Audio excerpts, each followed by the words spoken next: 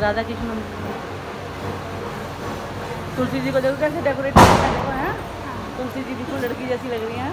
हाँ, मुकुट भी पहना है चूड़ियाँ भी है फूल माला भी है मेहंदी सब कुछ है दुपट्टा। भागवत कथा बैठी हुई है। हाँ और ये जब आई हुई तो जी। परिक्रमा कर दे। हाँ। और ये शालीग्राम जी भी है यहाँ पे। अगर आई हुई तो परिक्रमा कर दे तो भी ये शालीग्राम जी है। ये तुलसी माता के लिए गिफ्ट है। अगर तो और ये भागवत बिठा रखी है इधर। ये हमारे राधा कृष्ण जी। पूरा मंदिर डेकोरेट हो रखा है।